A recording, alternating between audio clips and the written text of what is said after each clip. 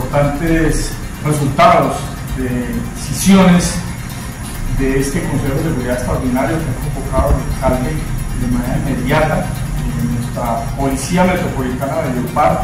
ha expuesto todo el acompañamiento para que con una oferta interinstitucional podamos intervenir aquellos sectores en donde se requiere más presencia de la institución, un componente importante de policía judicial, inteligencia y el modelo de vigilancia comunitaria. Vamos a estar acompañando todas las actividades que encabeza el señor alcalde y el secretario de gobierno vamos a estar realizando. Queremos darle la tranquilidad a todos los habitantes del municipio de La Paz que aunque tenemos cifras a favor, tenemos unos delitos como el homicidio, lesiones personales, microtráfico que requieren una especial atención y aquí estamos para acompañar a todas las autoridades eh, y recuperar la confianza y la seguridad que merecen los habitantes de este municipio. Coronel, a,